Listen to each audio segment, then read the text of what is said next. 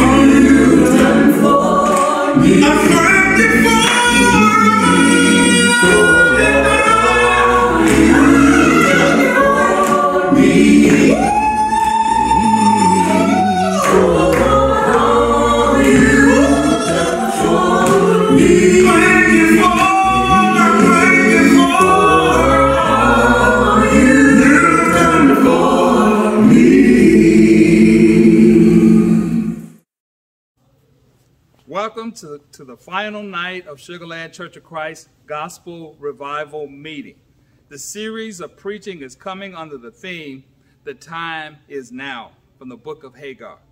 And we thank you for tuning in this week. We're looking forward to a great night in the Lord. Tonight's message and speaker will certainly be a, a blessing to all of us. I hope you're ready to hear God's infallible word and from God's servant. Minister Chris Jackson of the Jackson Street Church of Christ in Nashville, Tennessee. I will be introducing Brother Jackson later in this revival meeting. Again, welcome to tonight's session in this great gospel series. If you have any questions, please contact us by email at info at slcoc.org or you can call the church office 281 561 0881 and someone will respond to your request. If you're in our area, please contact us. Give us a call. We love to have you as guests in our worship service. Please visit our website, www.slcoc.org, for more information. Shall we together pray? Our great God and Father, who you are, we humbly approach thy throne of grace, asking for your mercy and your forgiveness of those things that we have done contrary to your will. We're thankful for your son Jesus, who died on that cross, showed us how we should live while living here amongst us. We ask that we become better disciples because of the teachings of him through example. We pray for those who are in bereavement this day that you will give them comfort and peace during this most difficult time in their lives. We pray for those who are ill that you will comfort them and give them the strength that they so desire. Please be with Brother Jackson as he breaks unto us the bread of life this evening, that we take it and use it as part of our everyday lives. We also ask that for the young people that we continue to keep them in, their, in our prayers and work with them to better understand the teachings of the Lord. This is our prayer in your son, Jesus' name. Let us all say amen.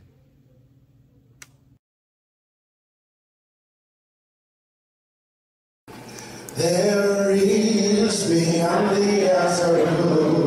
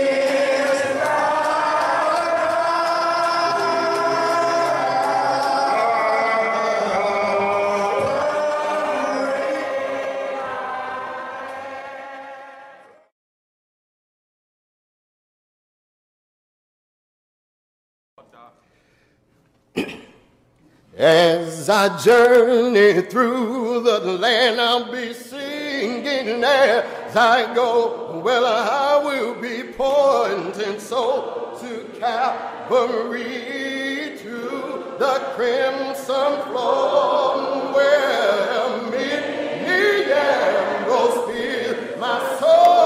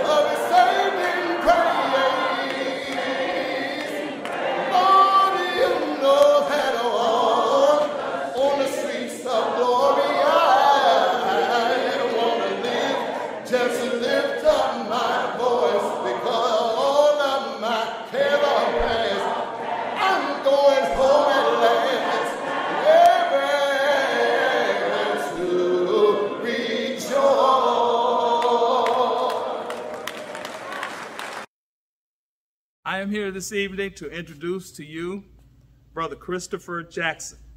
Brother Jackson served under the leadership of Alvin L. Daniels Jr., minister of the Hope Church of Christ. Brother Jackson's emphasis and passion is on church method methodology so that church can be positioned for growth in the future. He has already given advice to church leaders, churches on systems and processes that help facilitate church growth. Brother Jackson has been preaching for 17 years and serves as a full-time minister of Cortland Avenue Church for eight years and is currently serving as the minister of Church Christ uh, at Jackson Street in Nashville, Tennessee. Chris Jackson is married to the former Andrea Chapman, and they have been married for 17 years. They have one child, Grayson. Again, thank you for your attention, and we pray that something will be said to inspire you along your Christian walk this evening.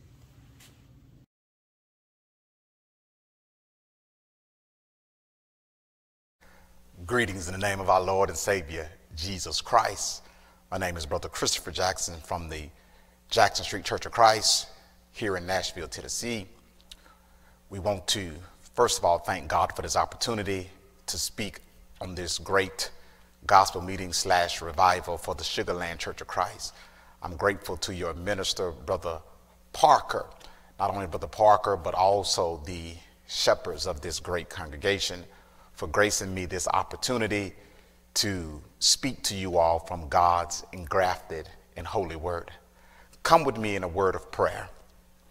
Gracious Father, we come on this day, for we know, Father, that it is because of you, Father, that we live, we move, and we have our very being. And Father, at this moment, Father, I ask that you bring back to remembrance the things I've studied, that you will touch my mind and touch the words of my mouth. And Father, that not only will you touch my mind and touch the words of my mouth, but that you will touch also those who will be hearing this lesson, that it may find fertile soil in their hearts. We give you all the glory and honor, for it's in Jesus' name we pray. Amen. Come with me to Haggai chapter 2. Haggai chapter 2, verses 20 through 23. In Haggai chapter 2, verses 20 through 23, these words are written. And again, the word of the Lord came to Haggai on the 24th day of the month, saying, Speak to Zerubbabel, governor of Judea, saying, I will shake the heaven and earth. I will overthrow the throne of kingdoms. I will destroy the strength of the Gentile kings. I will overthrow the chariots and those who ride in them. The horses and their riders shall come down, every one by the sword of his brother. In that day, says the Lord of hosts, I will take you, Zerubbabel, my servant, the son of Shealtiel, says the Lord, and will make you like a signet ring, for I have chosen you, says the Lord of hosts. Press me for a sermonic theme, I would tell you a whole lot of shaking going on a whole lot of shaking going on. Due to COVID, many of us have a can of Lysol spray, probably at our house or at our office. And some of us, before we spray, there are sometimes we shake the can before we spray. Not only that, but you are familiar with shaking orange juice or shaking some type of juice before you drink it. And even in your days in the past when you were not a child of God when you would go to certain functions and you would shake your body. But thanks be to God that you no longer do that. And so we are familiar with the concept of sh- to shake or shaking. In our text, we read about God saying he's going to do some shaking. And what I want to do just for a few minutes is to show you what does it mean when God says I'm a shake heavens and earth. Not only what does it mean, but how does it apply to us? And I would tell you that if you listen and apply this sermon to you, it will give you hope in the midst of when life is indeed bad and it appears as, if it's not getting any better. So as you walk with me through these few verses, I do not need to go back and give you a background of the book of Haggai because I know the speakers who have come before me have done a magnificent job giving you the backdrop of the book of Haggai and what was taking place. So, with that being said, we can jump right to verse 20. In verse number 20, you have God directing this particular message not to a group, but a specific individual. That individual would be the governor called Zerubbabel. The first and the fourth vision that God spoke through Haggai was for individuals. The first message being for Zerubbabel and Joshua, this last one being for Zerubbabel. And this fourth message, this final message that is delivered through Haggai to Zerubbabel, it is the second time that Haggai has received, or this is the second message Haggai has received on the same day. Letting you know how important this day was. This is the second message he receives on the same day. And so he speaks to Zerubbabel and, and by saying, and again, the word of the Lord came to Haggai on the 24th day of the month, saying, Speak to Zerubbabel, the governor, the political leader of Judea, saying, I will shake heaven and earth. When the Lord says that I'm going to shake heaven and the earth, God is letting Haggai know to tell Zerubbabel that I'm going to make my presence felt. I will demonstrate my power. I am going to intervene in the affairs of heaven and earth. In other words, the idea is, is that God says that, that even though I sit high, I am involved in the affairs of mankind and I will show my power. If you look at verse number 22, God demonstrates how he's going to show his power. He says, I will overthrow the throne of the kingdoms and I will destroy the strength of the Gentile kingdoms. I will overthrow the chariots and those who ride in them. And so what God what God does, God uses four verbs that demonstrate his power that demonstrate the fact that his, his presence will be seen in the fact that he says, I'm going to shake, I'm going to overthrow. He uses that word twice. Then he says, I'm going to destroy. Now, why would God in this point in history or on this day in that season, why would God demonstrate his power? Well, if you want to know why God would demonstrate his power, you need to look at verse 23. In verse 23, the Bible says that in that day says the Lord of hosts or the Lord of armies, the Lord of the heavenly armies.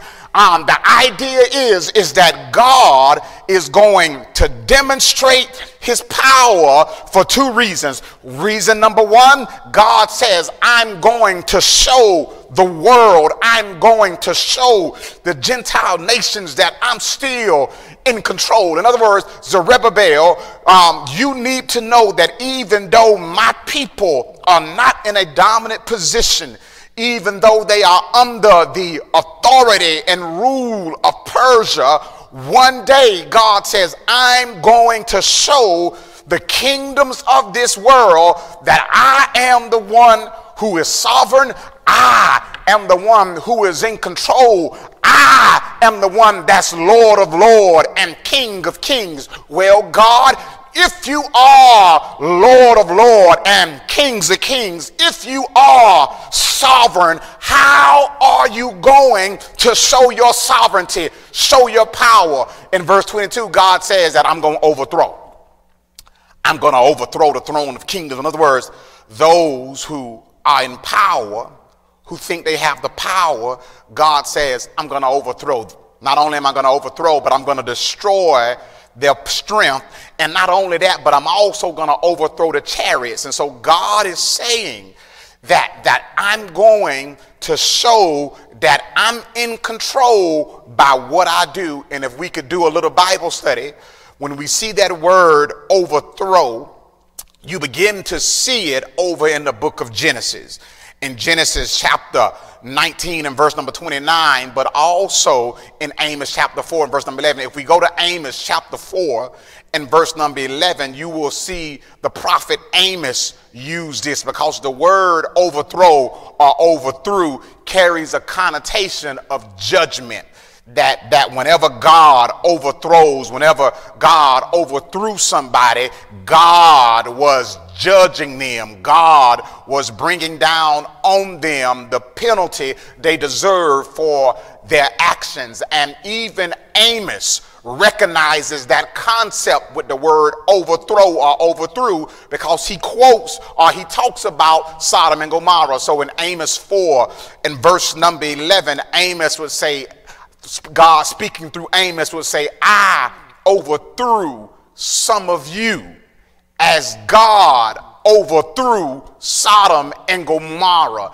And you were like a firebrand plucked from the burning, yet you have not returned to me, says the Lord. In other words, just like how God overthrew, God destroyed, overthrew, God judged Sodom and Gomorrah, God says that I'm going to show that I am the one who rules over the kingdoms of the world because one day I will judge all nations. And so he is letting Zerubbabel know to encourage, um, to encourage him that judgment is coming and when judgment is coming, God will judge the nations. Well, you probably wondering, how does God judging the nations benefit a child of God? How will God bringing judgment on the world when that day happens when when when when when the Lord descends from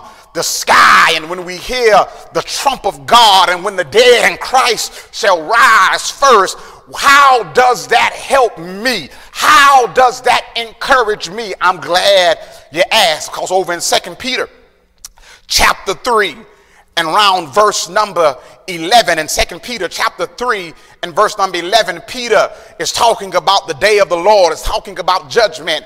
And Peter says, therefore, since all of these things will be dissolved, talking about um, the elements in the sky, what manner of person ought you to be in holy conduct and godliness. In other words, Peter says, since judgment is coming and some stuff is going to be set on fire, how do you think you need to be when that happens? He says in verse number 12, I'm looking for, in other words, not being afraid of, but looking for and hastening, uh, uh, uh, wanting the Lord to come on back, looking for and hastening the coming of the day of God. In other words, we are looking forward to that day. We can't wait till that day arrive. Why? Because of which the heavens will be dissolved, being on fire and the elements will, met, will melt with fervent heat. Verse 13.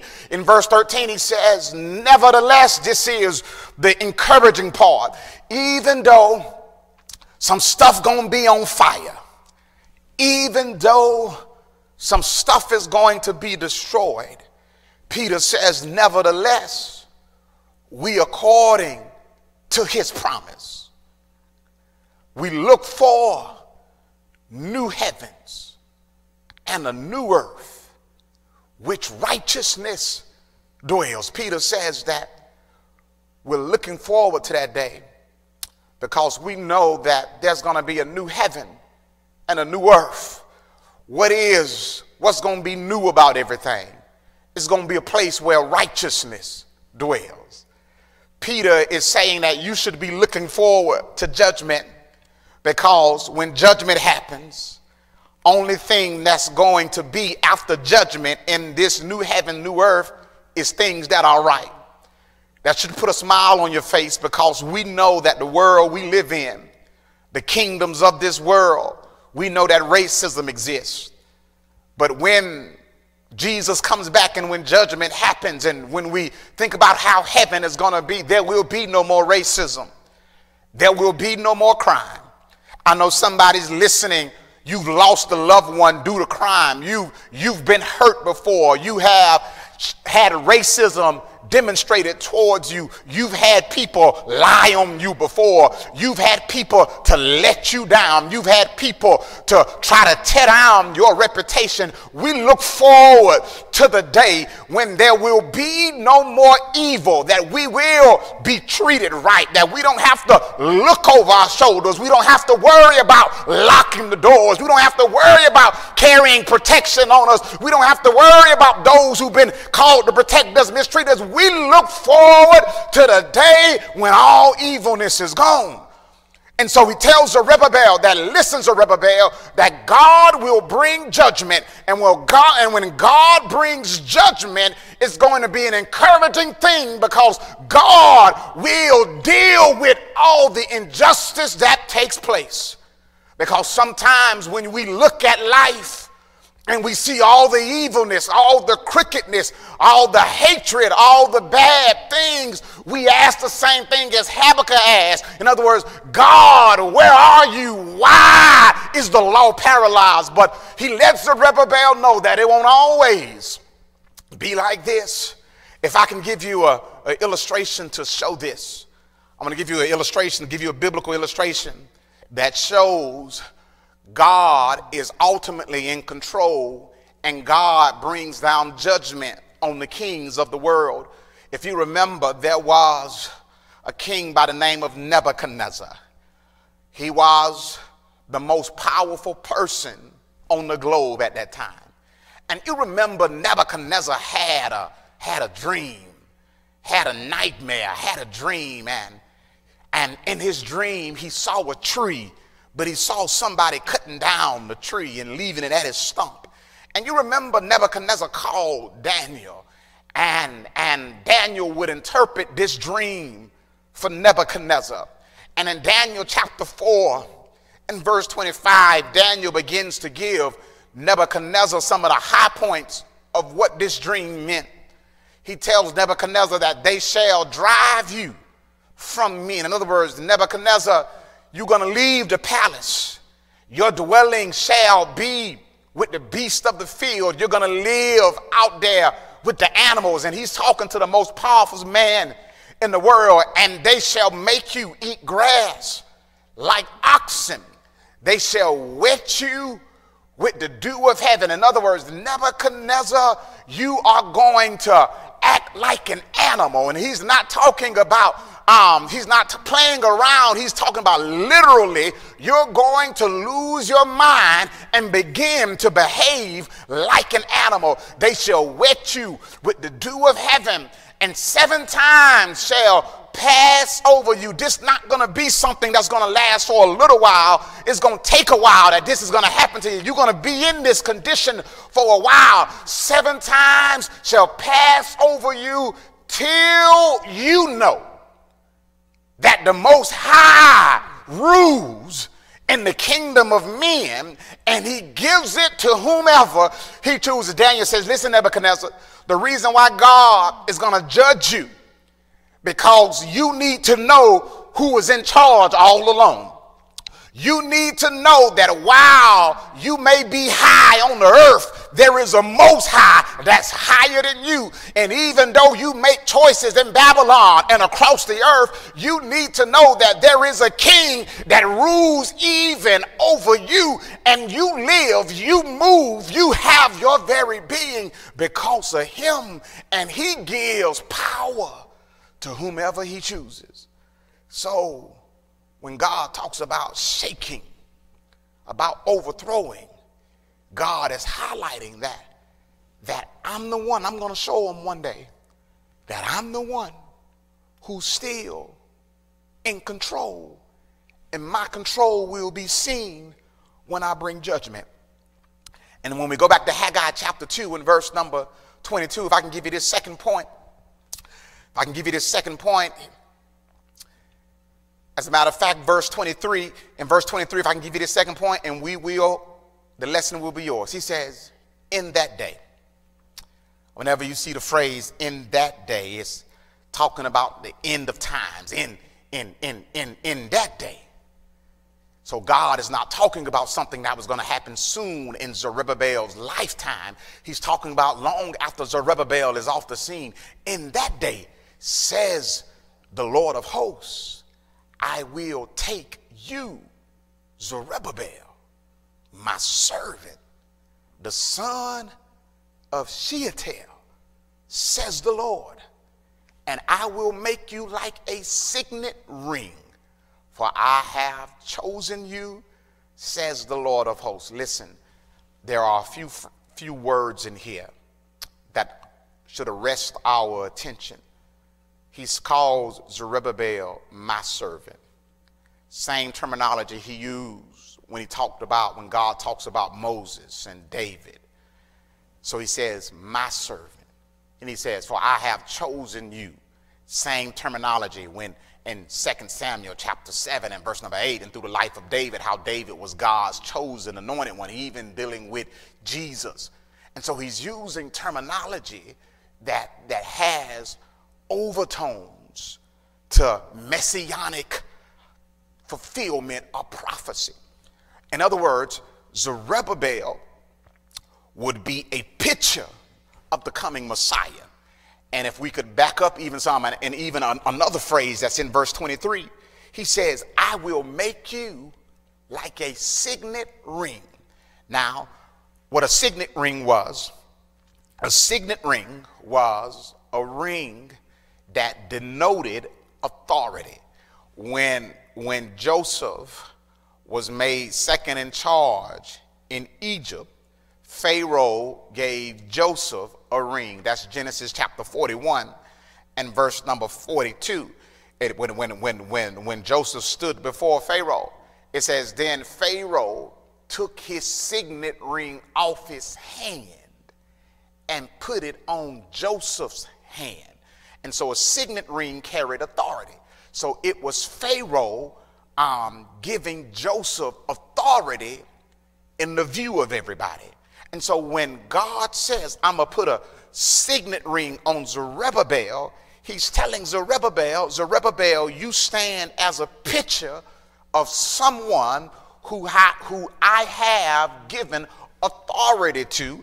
Not only that, but a signet ring was also used as like a signature or a seal whenever a king would give instructions or write a letter, he would use the signet ring because it had like an emblem on it, and they would put it in wax because it served as the king's seal that this is an actual letter coming from the king because we don't want anybody to plagiarize or we don't want anybody to act like or send orders in the name of the king, but they were not the king. So the king would seal his documents with his signet ring. It would be some type of mark or emblem letting the recipient of the letter know that this actually comes from the king. And so the signet ring carries an idea of authority and somebody who is authentic. And so he's telling Zerubbabel, you serve as a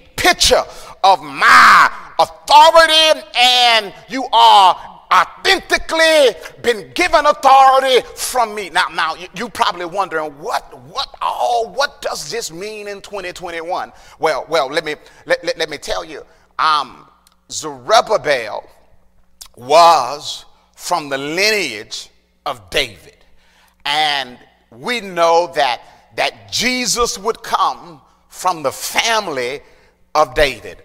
And, and in Jeremiah chapter 22, in Jeremiah chapter 22, in verse number 24, um, one of David's descendants, the king, um, Coniah, he, uh, Jeconiah, some versions say Jeconiah, um, Jeconiah was a wicked king. And even though he was in the lineage of David, God makes, uh, makes this prediction. And this prediction has serious ramifications. God would tell this king many years before Zerubbabel comes on the scene that as I live, says the Lord, though Jeconiah the son of Jehoam, Jehoiakim, king of Judea, were the signet on my right hand, yet I would pluck you off. I'll read that last phrase again. He says, The king of Judea were the signet on my hand, yet I would pluck you off. This king was so wicked that God says that I'm not going to have anything to do, to do with you. The promises of the Messiah coming through your family, which is the family of David, it is God saying, I'm putting that on hold right about now. Let that sink in because God had promised David in 2 Samuel chapter 7 that your descendants would sit on the throne and from his descendants would come the Christ. David descendants became so wicked that God put a pause on that in Jeremiah 22 in verse 24. And so the idea is, is that Zerubbabel would be the grandson of this king, or he would be a distant family member of this king. And so it is God pressing pause on the record in Jeremiah. And so the question would become if God has pressed pause on his promises, is the Messiah still going to come? And God answers that with an emphatically yes because he tells um, he tells Zerubbabel that you will be my signet ring. In other words, I took my promises off your ancestors, but I'm putting my promises back on your hand. In other words, the Messiah will still come. God, He is saying that my promises are still in effect even though they were put on pause because of the wickedness of your family, God says, I'm unpausing the record and my promises of bringing the Messiah, of me being involved in the affairs of man through Jesus. Those promises are back on track. Application time, and then we're going home. I will tell you that Sometimes our wickedness causes God to withhold his promises. But I'm glad that because of grace and mercy, God will give man another chance to receive his promises. And so Zerubbabel would be encouraged by knowing that even though Israel is not in a powerful position, even though Persia is in charge, even though other countries may be ruling, that God still has help on the way in the form of Jesus because his promises are still on track. And I would tell somebody on the day that I know sometimes it gets rough, but you need to know that God's promises are still true. God's promises that if you seek ye first the kingdom of God and his righteousness, Matthew 6 33, that all these things will be added unto you, that God's promises are still true.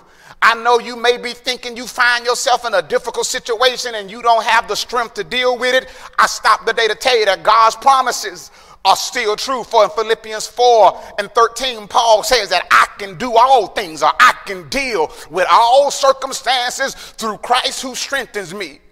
I know you may be thinking that you don't know how you're going to make it because people have walked out on you. But I stopped to tell to tell you that, that Jesus said, I'll never leave nor forsake you. I know you may be thinking my body is breaking down and I'm discouraged because of that, but I stopped today to tell you that Paul said that if this earthly tabernacle be dissolved, we have another building in the heavens not made with hand that God's promises. They're still on track. And it's because that God's promises are still on track. Even when life looks bad, I know that help is still on the way because God is sticking to his promises. I'll close with this illustration. I'll close with this illustration back in 2003. I think it was August, August 14th, 2003. There was a, a man by the name of Mr. Evans and Mrs. Evans. They were, they were at the airport in New York. And they had gotten to the airport in ample enough time because they knew the line was going to be long.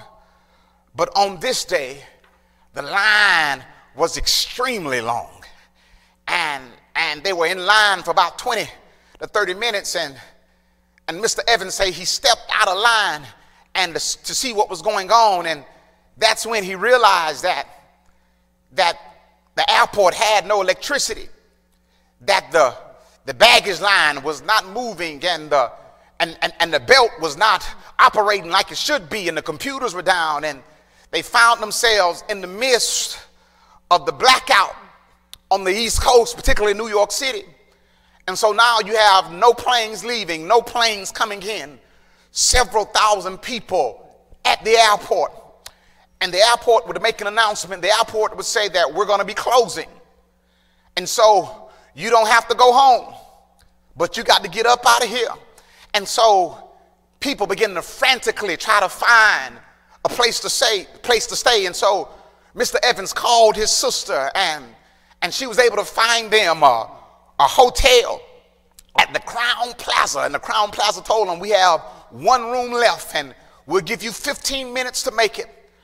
So Mr. and Mrs. Evans, they got in their taxi cab and they got over to the Crowne Plaza just in the nick of time. And when they got to the hotel, the lights were were off. There was no electricity, and so the hotel was, was signing people in with paper and pencil and had candles lit up, and there was no air condition, there was no hot food. And so Mr. and Mrs. Evans, when they got to their room, the room was hot and, and sweaty, and he looked out the window and across the street he saw a hotel. And that hotel was the Marriott. And that hotel had lights on. People were in there laughing and having a good time. People were in there watching TV. Some people were in there dancing from left to right. And Mr. Evans said that I, he told his wife that, that, that, honey, I got to go across the street to see why do they have lights while we do not have lights. And so as Mr. Evans crossed the street and he went to the Marriott, and as he went in there, he asked the manager who was on duty, how do you all have lights? Because I see the people eating and drinking and having a good time and watching TV and watching the news about this um, blackout. How do you all have electricity and we don't? The manager said that we have power because when this hotel was built, it was built or it was installed with a gas generator, which means that we got a power source on the inside that's not dictated by what's going on on the outside. And so she says that we got power because the blackout, the darkness, the craziness that's going on out there cannot affect what's going on in here because we're running off a different power source.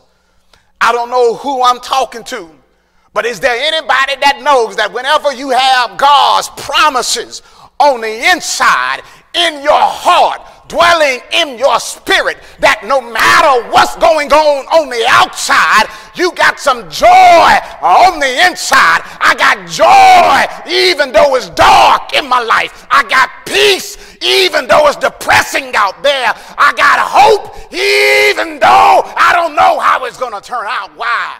Because I got promises on the inside. And since I got promises on his inside, on the inside of me, I'm able to function even when life is bad. So remember that judgment is coming, but judgment will be a good thing for a child of God because all the evilness we've experienced will be over. And even though there are times that it seems like God's promises are not coming, just know God will stick to his promises. May God bless you. May God keep you. And once again, thank you to Brother Parker the Fourth and also to the Sugar Land Church of Christ for allowing me this opportunity to speak to you. Just as I am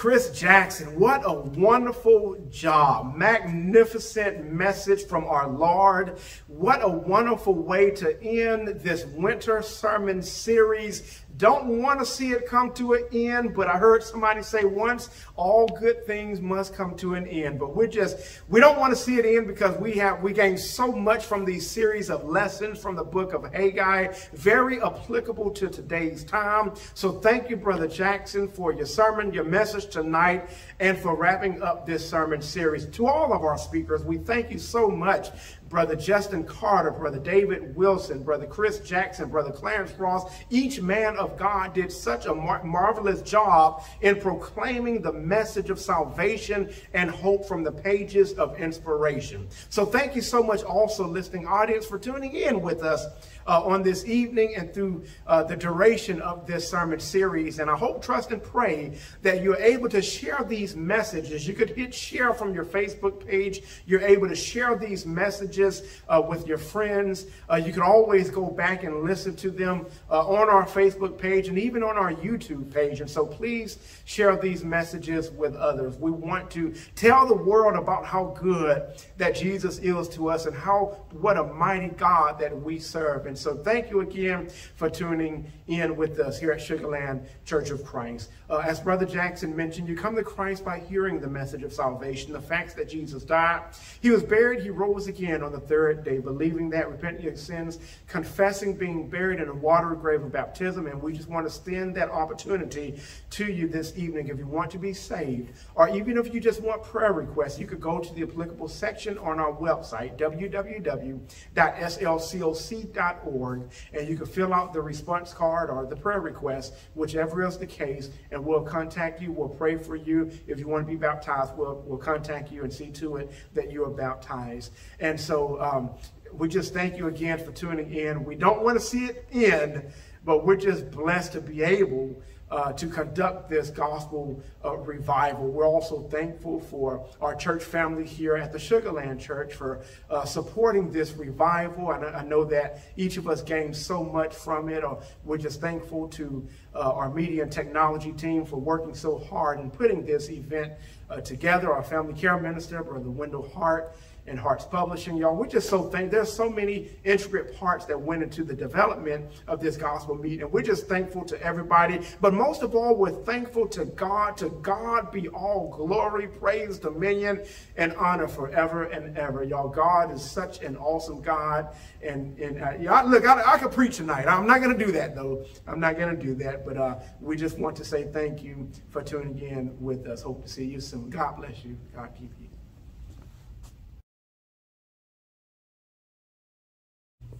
Shall we pray? Our God and our Father, we want to thank you for this day thank you for this opportunity we've been granted to hear your word proclaimed throughout the week. Father, as we come to the close of uh, this virtual revival meeting, Father, we're thankful for the theme, the time is now. Father, may we, may we be receptive to those things that have been said from the pages of inspiration. Father, we're thankful for Christ and what he should mean to each and every one of us. And we're thankful for Brother Jackson as he has on this night proclaimed your word. Father, may we receive it with meekness and understanding. And Father, we're just so thankful for your word and the power that it has to change lives. And Father, we just want to give you praise and honor for all that you've done and all that you continue to do. And Father, as we come to this close, may we be receptive to all those things that were said this past week. And may we find in ourselves the areas where we need to be obedient and strengthen ourselves and look to you for all of our source of strength. It is in Christ's name we pray. Amen. Jesus, you've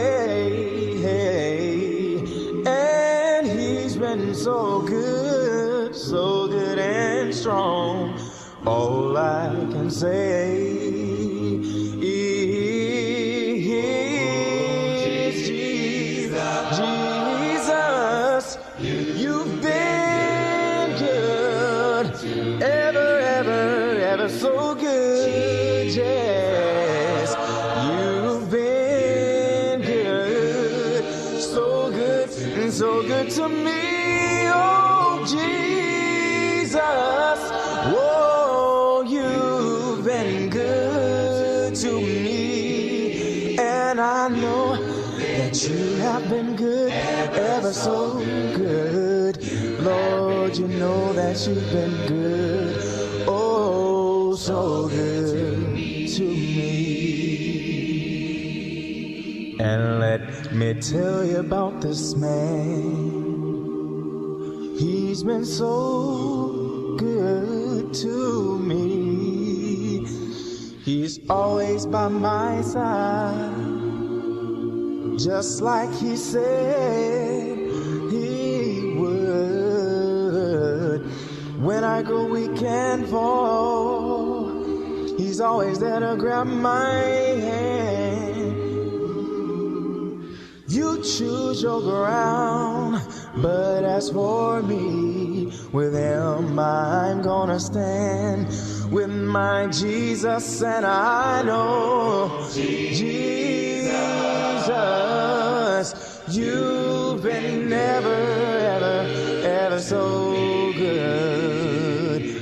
Jesus. Jesus,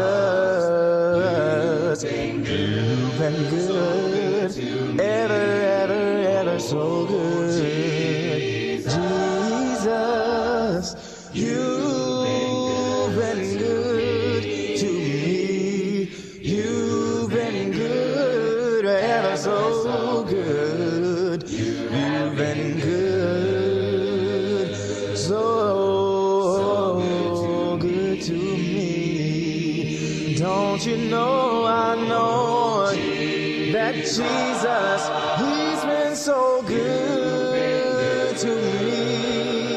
I've lost some loved ones and close friends along the way, but he still helps me through each day, and I know that Jesus,